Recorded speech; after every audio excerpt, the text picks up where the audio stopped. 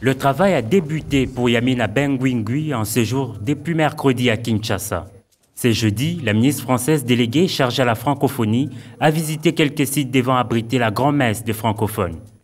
L'officielle française a fait le tour de la cité de l'OUA, de l'hôtel du fleuve, du stade de Martyr et du palais du peuple. Au finish, les impressions étaient plutôt bonnes.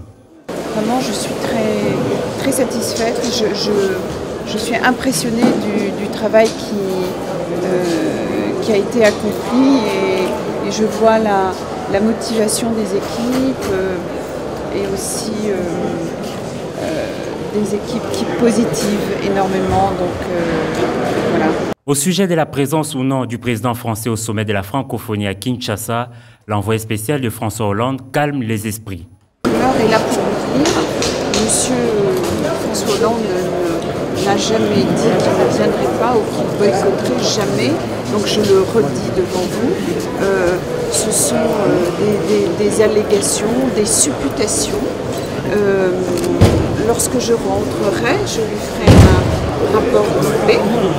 Et, voilà, et pour l'instant, longue vie au sommet. Du côté du comité d'organisation, l'optimisme est clairement affiché. Nous n'allons pas continuer à passer notre temps à parler de localisation, d'arriver au nom du président Hollande, tout cela. Nous devons cesser euh, ces, bobards qui euh, alimentent inutilement nos, nos débats stériles. À partir d'aujourd'hui, qu'on ne parle plus, plus du tout dans notre presse et dans nos radios de la question de la délocalisation éventuelle et de la question de l'arrivée au nom du président Hollande.